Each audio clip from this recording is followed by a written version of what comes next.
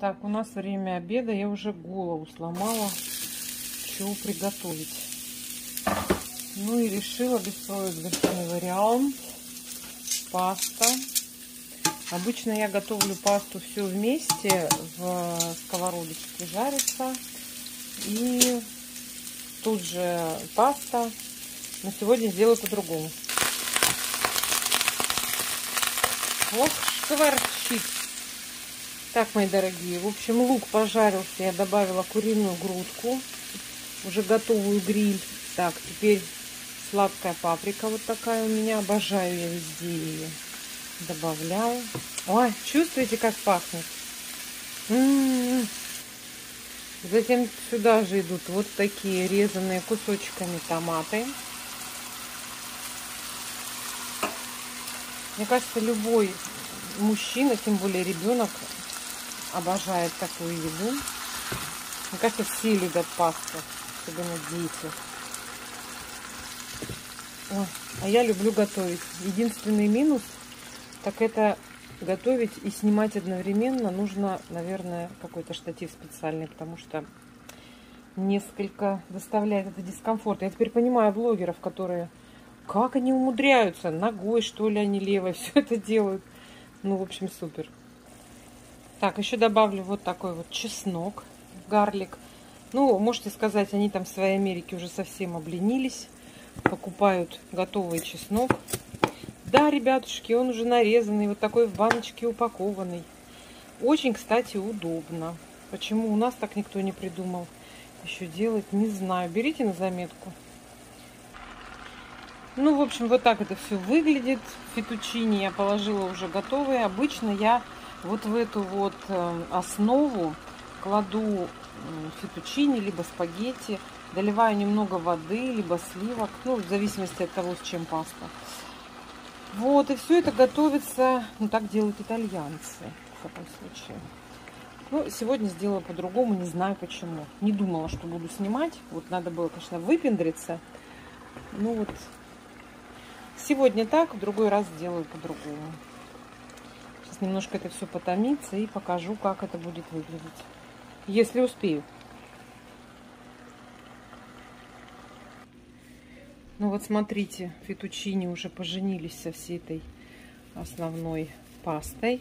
И еще я добавляю сюда такого главного героя. Это моцарелла героиня. Да, вот я добавила еще моцарелла, потому что ее много не бывает. Вот сейчас это все побудет вместе, потомится и будем вкушать. Ну вот смотрите, какая получилась красота. Надеюсь, что и вкуснота.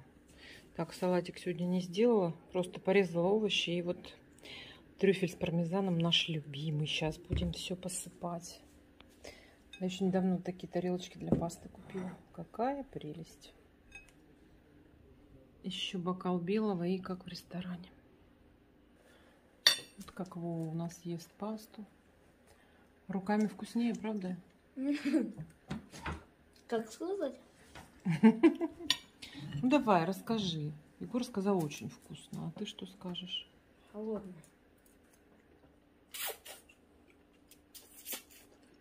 Вкусно. Вкусно. Теперь мясо. В общем, друзья, нам приятного аппетита. И сегодня будет еще запеканка. Ребятушки, я вот оказалась в Home Depot. Поехала со своим водителем. Смотрите, елка. 69 долларов. Живая. Потрогаю. Да, живая. Она в такой подставочке. Так, ну-ка понюхаем пахнет, да, как наша, даже как пихточка, наверное. Так, вот повыше елочка. Уже красивая. Это уже 99 долларов. Мы просто вчера хотели елку купить искусственную. На минуточку, знаете, сколько стоит? 399. вот таких же размеров. Капец. Ой, какая красивая. Это, видимо, какой-то сорт написано у Douglas. 94. Ну, смотрите, какая пушистая. Ой, мягкие такие. Очень мягкие. Никто не поранится, ни детки, никто. Ну-ка. Ну, кстати, елкой не пахнет. Так, и вот у нас еще одна красавица, самая недорогая, 59 долларов. Pfizer Фир какой-то. Ну, тоже, кстати, мягкая. Ну, тоже мало елкой пахнет. Первая пахнет лучше всего. Ну, пойдемте внутрь. Ха! Я вчера в Костка за 399 вот такую видела. А здесь она стоит, ребятушки, 499. Да откуда ж такие цены? 500 баксов за елку. Вы чё? Бери выше. 799. Елки-палки. Слушайте, ну из Китая заказать сейчас уже, конечно, мы не успеем. Вот 350. Ну, красивенькая. Но я что-то не готова столько денег за елку давать. Вот 300 долларов. Самая обычная. Вот Господи боже. Ой, какая красавица. В России бы, конечно, мы сейчас такую в нашем доме поставили. У нас как раз был такой второй свет. Это называется. Ну, это когда заходишь в двухэтажный дом или в трех, и вот нет э, одной четвертой части потолка, такой балкон. То есть у нас елка всегда была до неба, как Тася говорила. Да, уж. Вот 700 долларов, пожалуйста, 699. Мне прям вот это очень понравилось. Смотрите, 499, но она как будто в инии. Прям красотка такая. Ну и вот эти красные цветочки, я вам вчера про них рассказывала. Они везде, их покупают такими большими количествами, прям поддонами. Что-то они, наверное, обозначают. Но я пока не знаю, что. Мне, честно говоря, было лень прочитать. Посмотрите, пожалуйста. Разобрали украшения. Вот я показывала тоже у нас возле практически каждого дома стоят вот эти надувные штуки. Здесь уже этого всего нет. Люди очень активно это все покупают. Классно. И стараются, чтобы всем, кто проходил мимо, было приятно смотреть. Привет, Щелкун за 250 долларов. В общем, хожу вот по Хумдипу. Не знаю, надо вам показывать, рассказывать. Занесло меня на ночь глядя. Я приехала, честно говоря, елки посмотреть. Сейчас еще пойду, еще повыбираю. Ой, как я здесь люблю ходить. Здесь так деревом пахнет. Помните, да, мои сюжеты? про фанерочку. Обыкновенную фанерочку. Вот она. Почти 30, 26, 26, 25 она стоит. Ну, почти. С налогами, наверное, 30 так и получится. Елки-палки. Ой, ну как пахнет. М -м. Очень вкусно. Вот, 4,15 нашла досточку, смотрите. Это, кстати, обработанная. 2 на 4. 2 by 4. Ребята, у меня культурный шок. Цветочек замиокулькас. Мы когда уезжали, у меня дома кусты были его. Смотрите, цена 24, 25 долларов, короче. Вот такая вот фигулька. 25 баксов. Ядрит Мадрид, я бы озолотилась. Ух ты, смотрите, какая техника. Я не знаю, для чего они нужны, комбайны эти. Такие прикольные. О, 2700. Ну, так кому интересно. Ну, что-то такое прям новомодное. Да, вот здесь показаны операции, которые они делают. Ну, честно говоря, мне оно не надо, я и прям не вникаю. Мне понравились желтенькие, красивенькие машиночки. Видите, какая классная штучка и накрывашка, чтобы ничего не разлеталось в разные стороны. Что-то я притомилась, посижу я здесь, наверное. Подожду своего... Ой, как хорошо. Водителя.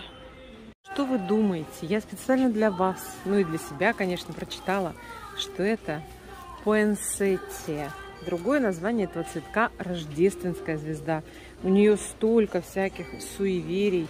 В общем, она как символ, господи, как яйца на Пасху, обязательно должна быть в доме. Она там и энергетику меняет, и что она только не делает. Вот то-то я смотрю, что ее берут прямо поддонами. И что в природе это растение может достигать трех метров высоту, если за ним правильно ухаживать. Круто, значит мы тоже его покупаем. Короче, хочу вот купить палку для швабры.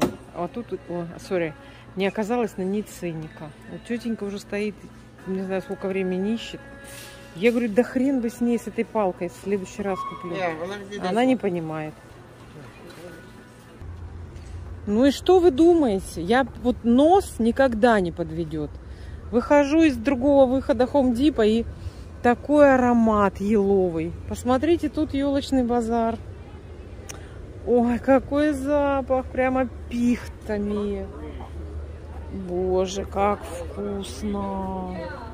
Веночек, вот веночки вешают на двери 19,90, ну 20 долларов, скажем так. Ой, как красиво все. Ой, сколько елок. Просто капец. И народу-то, народу. Слушайте, я аж дышать не могу. Как их много здесь. Ой, какой запах. Опаснее Мягкие такие все. Красивые. Ничего не сыпется. Вот знаете, интересно как. Ничего не сыпется. Ну, наверное, и цены такие. Потому вот сейчас смотрю, смотрите, 189 долларов елочка. Но они как будто не настоящие, они такие красивые. Прям вот как, как искусственная она. Посмотрите, какой у нее ворс прямо. Елки, ну вот тут точно скажешь, елки-палки. Где их выращивали, эти елки? А здесь наоборот, смотрите, такой отдельчик. Здесь вот здесь похожи на наши елки, но тоже очень мягкие они. Смотрите, какой ствол огромный. Такая вроде изящная елочка, а стволы вон какие толстые. Это, наверное, какой-то определенный сорт. Ой, жалко не записала разговор, тетенька не захотела сниматься. Ну, я, честно говоря, позориться со своим английским. В общем, она мне сказала, что эти елочки приехали из Южной и Северной Каролины. Вот, что выросли они в Америке. А я рассказала, что я из Сибири. И что у нас тоже много елок, но у нас сейчас снег. Ребята, как здесь пахнет! Господи, почему никто еще не догадался и не, не, не придумал, как передавать запах? Слушайте, вот когда в бане запаривают еловые веники, ну как классно! Посмотрите, как они все стоят Прямо вот одна к одной, одна к одной. Такое ощущение, что их прямо вот выращивали, кормили как модели. Вот в России, кстати, а, зачастую продают елки какие-то кривые, да, и если это какие-то нестандартные, то там совершенно другая цена. Здесь они, ну, просто куколки, прям одна к одной. Посмотрите, какая красота.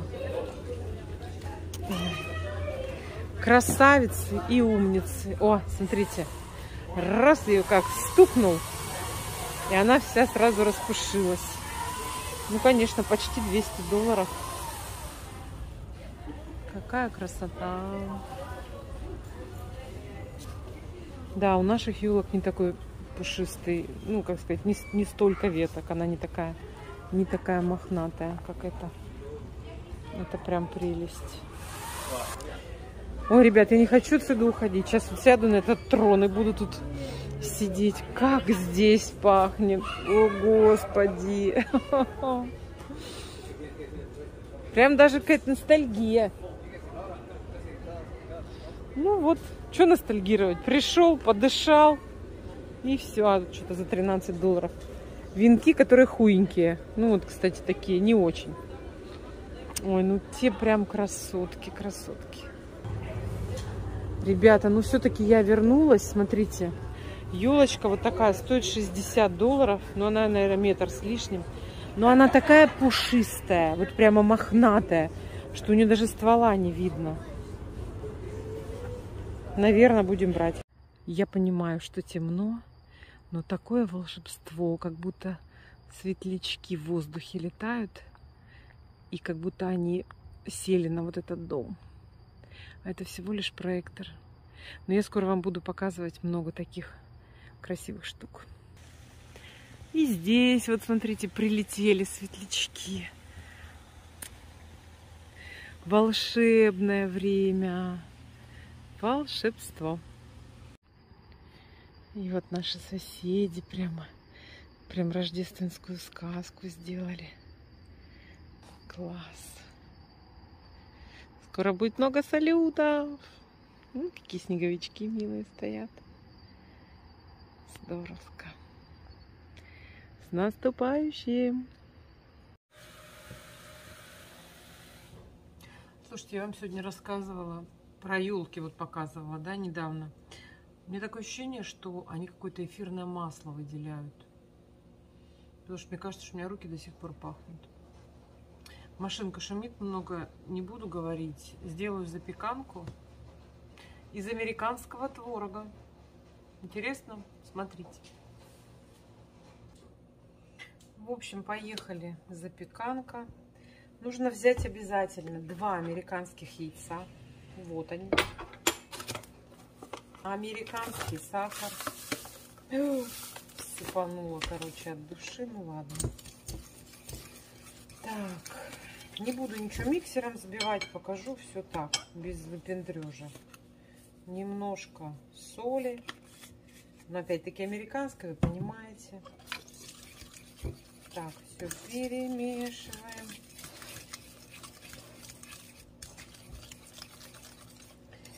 Честно говоря, можно обойтись без миксера. Запеканку-то можно сделать.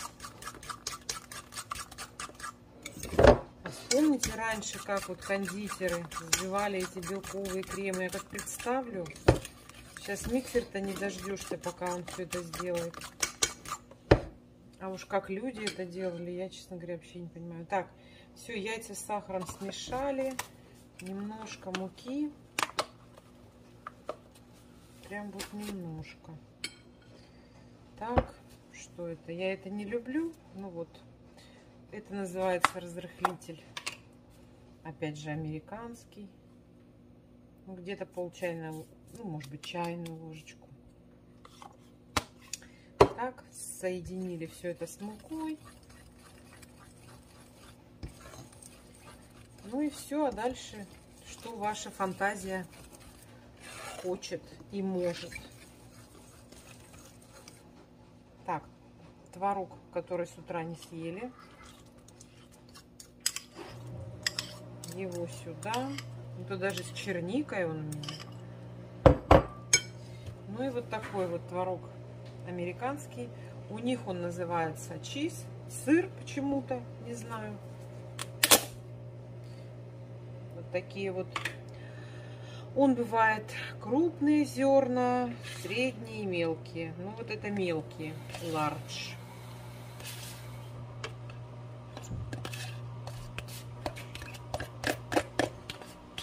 Да, нехорошая была идея еще и стирку завести. Мне что-то как-то шумно работает машинка. Так, здесь у нас 3 а, паунда, килограмм 360 грамм, короче, в этой баночке. Но на нашу большую семью это так на один зуб. Сейчас главное все хорошо перемешать. Вот у меня еще моцарелла осталась. Можно еще моцареллу посыпать. Лишнего это не будет. Все, сейчас нужно все хорошенечко вымесить, подготовить форму. И покажу дальше. Итак, друзья, кто записывает? Нужно взять американский сахар, американскую муку, американский творог и, внимание, русскую манку. Можно ее добавить в творог, пару ложек. Она соберет лишнюю жидкость. Но у меня она, к сожалению, закончилась, поэтому я только а, вот смазала противень а, сливочным маслом и чуть-чуть посыпала, слегка присыпала, потому что ну, больше у меня ее просто нет. Вот, еще у меня есть вот такой изюм. Это детям давали, он был у них в наборах э, в школьном питании. Вместо конфет он уже чистый, мытый. У меня его просто очень много, поэтому я его буду сейчас везде использовать. И в каше, и в запеканке. Вот. Ну, в запеканках вообще изюма много не бывает. Такой прям красивенький. Три пачечки, я думаю. Да. Все, просто перемешиваем. Не выпендриваемся. Уж запеканка это, по-моему, самое простое блюдо, которое умеет делать ну, каждая женщина и, наверное, даже девочка. И она всегда получается. Всегда. Я туда добавляю сыр, что-то молочное можете добавить, сливки. Она всегда получается очень классно. Так, наш противень. И выкладываем нашу запеканочку. Ну, там даже малинка попалась.